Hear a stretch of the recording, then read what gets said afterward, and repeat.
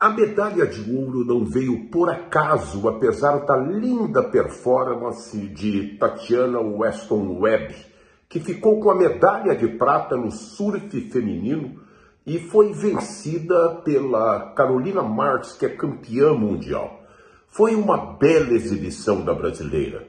Temos de reconhecer, às vezes, mesmo que a diferença seja muito pequena da pontuação da primeira para a segunda, as qualidades também das adversárias.